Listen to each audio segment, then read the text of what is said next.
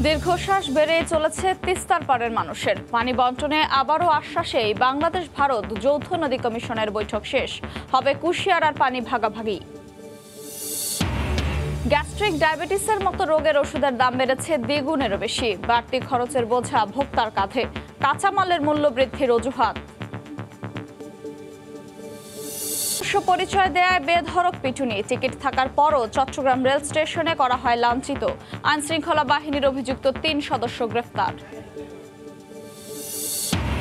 শরীয়তপুরের তালিকায় চট্টগ্রামের প্রায় এক হাজার রোহিঙ্গা। রোহিঙ্গাদের নাগরিক হওয়ার চেষ্টা, বলছে ইউনিয়ন পরিষদ হ্যাক্ট হয়েছে আইডি, দাবি নির্বাচন কর্মকর্তার। এবং বিআরটি প্রকল্পের কাজের অগ্রগতি দেখতে অংশীজনদের নিয়ে পরিদর্শনে এমডি। নিরাপত্তা নিশ্চিতে গুরুত্বারোপ।